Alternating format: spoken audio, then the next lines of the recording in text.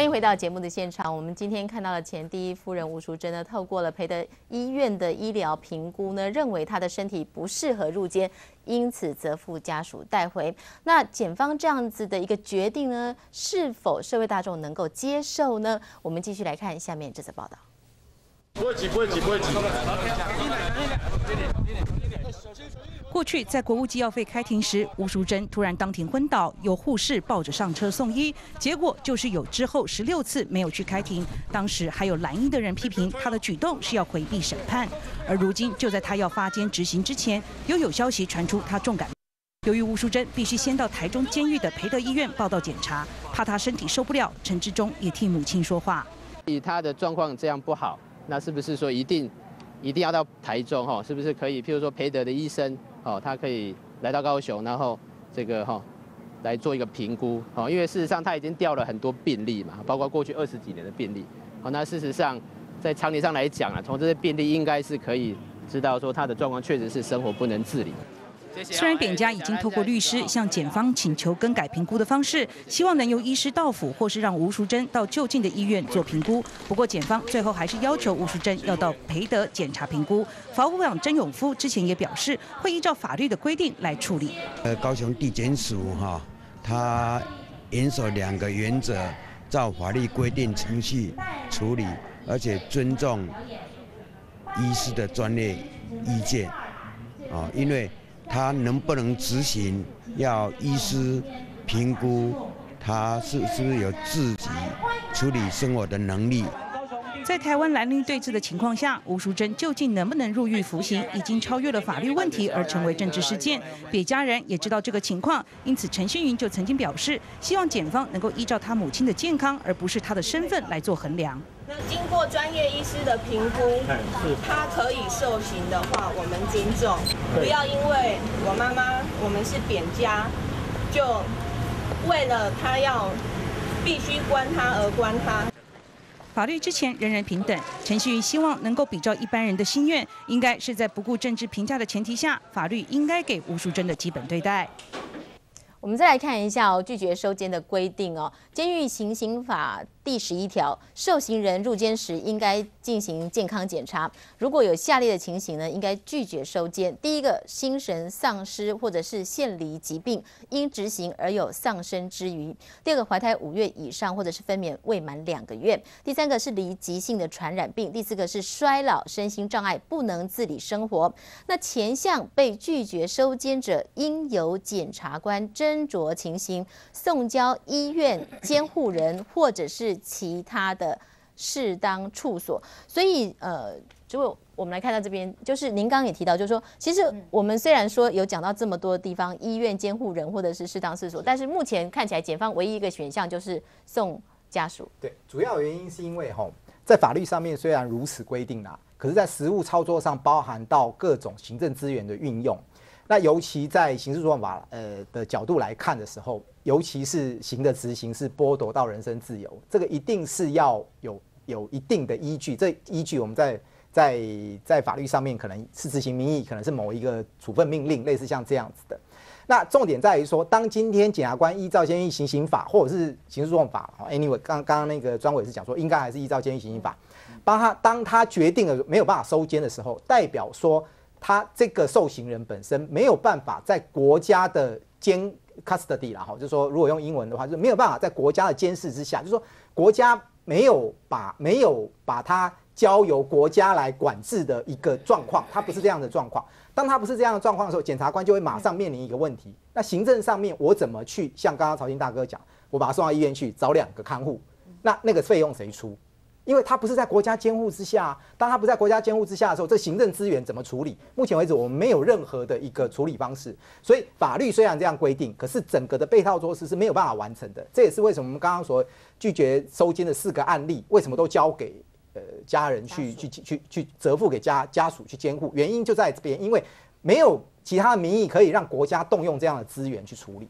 所以这个是实务上面跟法律规定本身在配套上面来讲有没有非常完全衔接的地方？不过我这边再补充一点了，就是说我可能有一点不同的意见，说，呃，《公民与政治权利国际公约》第七条其实是有特别提到说，即使是刑罚啦，好，我们当然对于呃违犯法的人，我们应该施予适当的一个刑罚。可是刑罚要有它的极限，刑罚有极限的，不是说今天犯错我们就国家一定要用一个方式来表达说我们的法律的正义是在怎么样？没有，当他今天我们是一个残酷不人道，甚至有可能让他丧失生命的时候，当然是可以在刑法极限的，应该是认为说他是在刑法的极限之下。这个时候当然可以依照今天的这个处理，所以我还是再次强调，今天呃不管是检察官演戏也好，不是演戏也好了，如果今天专业判断是真的是如此的话，我个人会认为说这样子的处理会比较符合人道。那当然这也是其实吴奎的一个指示啦，法律与人道中间要做一个平衡。我觉得今天应该是今天应该是就像这个这个敏凤敏凤所讲的一样，可能蓝绿大家。或许都没办法接受，但是也都是必须要接受，它就是一个平衡点。当他今天做了一个平衡点以后，我觉得大家就是尊重这样的一个一一个状况。我想请问专委哦，就说我们刚刚那个事例哦，就是当他责付家属之后，那其实我们也看到检检方说到了，其实未来会定期或不定期的去看他的状况。是，如果他身体状况适合的话呢，他他还是要再入监。是。那从那四例还有之前的很多例。那有曾经就是再重新评估而入监的吗？呃，一定有这样的案例，可是因为我手上并没有这样的资料哈，所以没办法跟大家分享哈。那事实上，这个刚刚这四个案例哈，只是台中培德医院的状况了。那台湾有这么多监狱哦，其实很多监狱这样的案例还不少，还不少。哎，是，所以。谈到了定期跟不定期，这就是一个很模糊的一个时间概念喽。到底是要多久算定期，然后多久算不定期？那检察官他一定有那个义务跟责任要去做这样的动作吗？呃，我相信检察机关内部哈一定有他们的规范了。大概定期，比如说也许三个月或者半年，他们有内部的规范哈。那呃，我我手上如果没有详细的资料的话，可能没办法跟大家做确定的说明。但是一定有。之前也有讨论过，就是说如果吴淑珍女士她没有办法呃入监服刑的话，那当时社会在讨论就是说所谓的呃在家服刑这样的概念。那法务部有曾经回应过说，台湾没有所谓的在家服刑。那但是后来又有提出一个可能性，说考虑是不是用在家服刑的方式。那像这样子所谓的在家服刑哦，它的概念是怎么样呢？呃，我我不是很清楚哈，但是恐怕必须要有法制作业以后，才有依据来办理了哈。那呃，印象中也许英美法系的美国啊，有这样的制度也不一定哈。但是既然我们国内没有这种法制的话，可能法务部也没有办法，哎，可能要请立法院或者说呃全民有共识之后，这样的法令跟配套制度出来之后，才有办法办理。所以现在目前就是限制住居，其实他是个人人身活动是自由的，他也没有被呃，就是除了出国之外。其他的都是自由的。简单讲就是说，哈，所谓的在家服刑，其实没有这样的名词，法律上面没有这样的名词。在家就是所谓检察官认定的适当处所好，那以往的案例，当然我也没有研究。不过据我所知是说，呃，刚刚主持人是问到说，后来检察官有没有在定期的，至少很明确在裁定书或者说在新闻稿里面讲。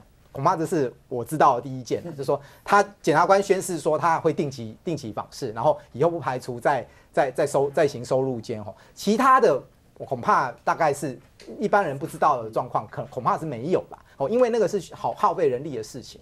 好，那适当处所当然家里面是一个适当处所。那问题就是说，刚刚曹庆大哥有讲到一个案例，说哎得了癌症以后又又另外出去犯案，哎这个状况就出现了。原因在于说，我们现在可以检察官可以令他入适当处所，可是令适当处所，如果这个受刑人违反，譬如说我现在我就是要求限制住居，哎你不能乱跑，可是他就是要乱跑，你能怎么样？后面我们都没有配套。是我们来接几位观众朋友电话，第一位来接桃园许小姐您的电话，许小姐您在线上。哦，你好哈，你好。呃，刚才有一个说有一个那个人哈，他那个因为因为那个什么去去去那个，因为他已经什么癌症末期了，结果检察官放他出来，结果他又去杀人。请问一下，我要请问那个人，他还他吴淑珍还能够去杀人吗？还有我要讲第二点哈，就是马英九先生哈，他都可以犯错了，为什么为什么他吴淑珍他不可以犯错？啊？好，谢谢，谢谢你的电话。再来接台中王小姐的电话，王小姐，请说。嗯，叶小姐你好哈。你好。嗯，首先我想要跟先跟那个赖素如赖赖议员哦，其实你们国民党不要这样。他有，我觉得我我我的看法跟那个陈敏凤小姐是一样的。哦，你们要留点口德，也要得饶人处且饶人。对不对？他交给陈志忠是最好的方法。万一他在狱中怎么样，那你们难，你们不就是挑起台湾对立了吗？好，谢谢您的电话，再来接新竹李先生的电话。李先生，请说。呃，你好，各位来宾，大家好。你好。呃，这这一种事情本来就是公说公有理，婆说婆有理呀。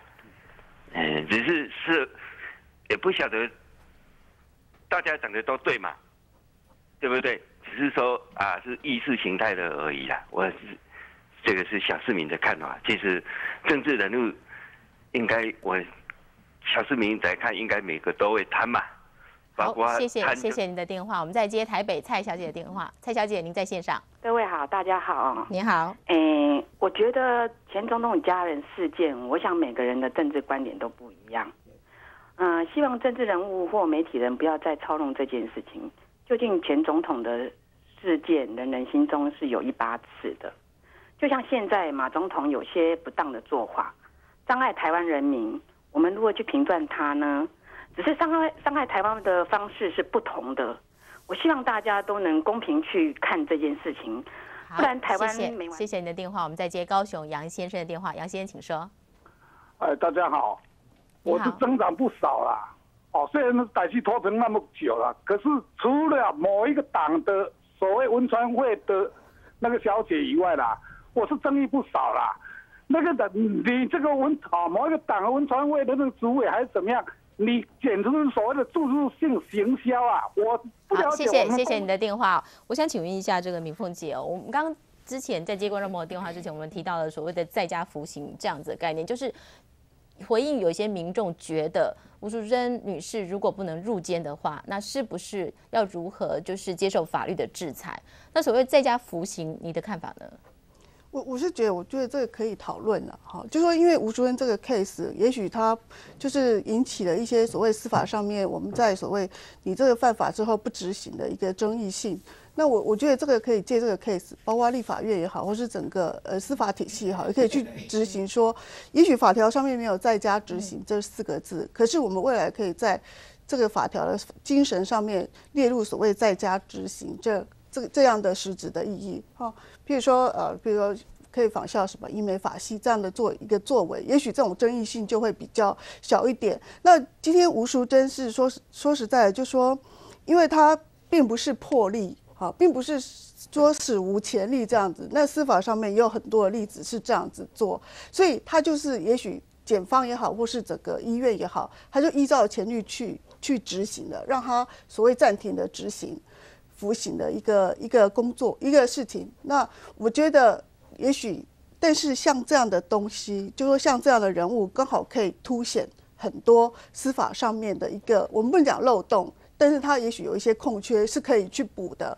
这个这个东西，我觉得是可以讨论的。那像这样，比如说像刚才曹晶讲的，如果有人得了癌症，被被被拒绝拒收之后，还出去犯刑的这种。也许这只是一个比较偏偏僻的例子，但是的确是也有这样的情况发生。那他可能在危害别人的性命嘛？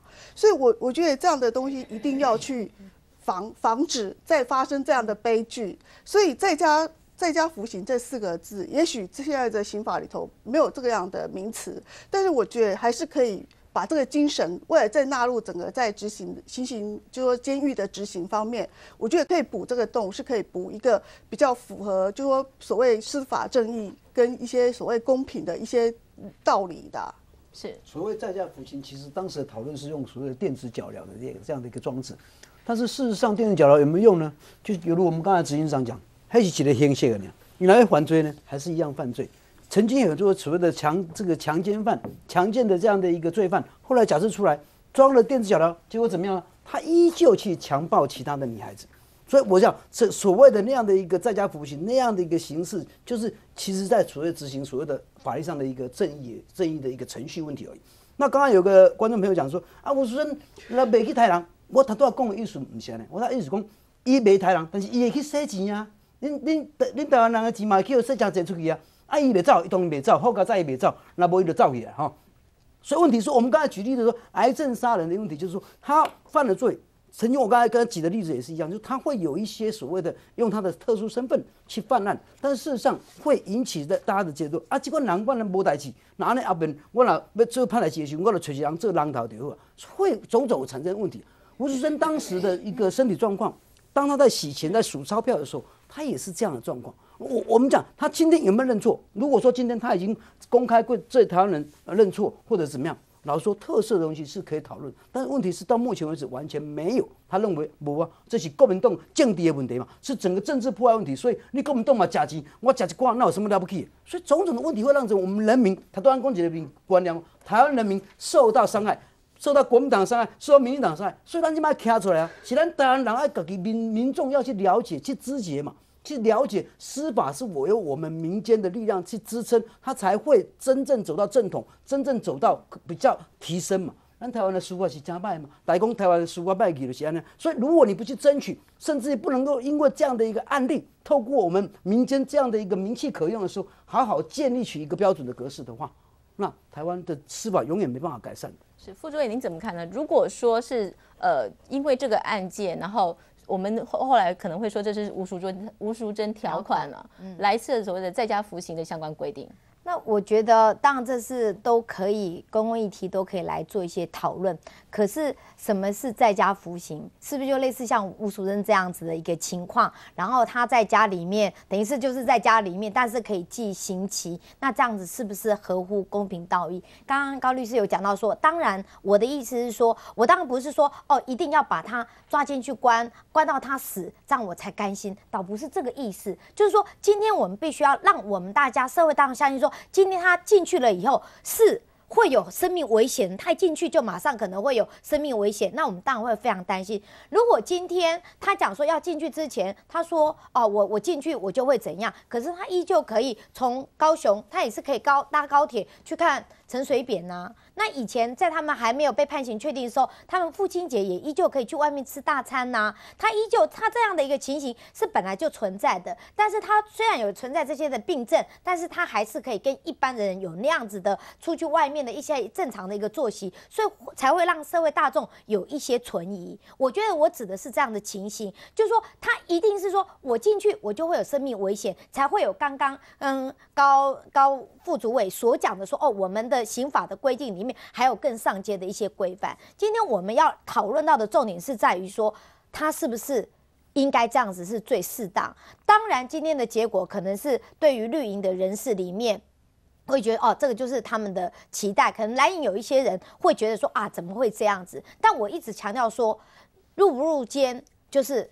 那些医疗团队多一点专业，少一点政治。其实我们今天来这边讨论，跟国民党无关呐。我们只是觉得说，就这件事情来讨论，也不要很多的人讲说，如果说我心里在想，如果今天他如果进去了，一定大家讲说，哎，又是马英九，马英九的手伸进监狱啦，就一定要把吴淑珍关到死，一定又是这样的一个言论，其实不必要的。我们完全尊重专业，如果专业觉得说他现在不适合，那我也尊重啊。我也尊重啊，只是我们必须考量到说后续的一些相关的问题。明凤讲的是不是要考虑在在家服刑？这个。都因为目前没有这样的法律规定嘛，没有法律规定，所以我也不不能够去做一些的呃评论。我只是觉得说，有些的事情有因为吴淑珍的一个问题，那可以成为公共议题，大家来想一个方法，让就是说如何的情形，既让他受到刑事的一个呃有一个处罚的一个规范，但是也能够符合到人道的一个一些处理，可以两全其美这样的一个办法。我们继续来看啊，吴淑珍相关的涉案的进度哦。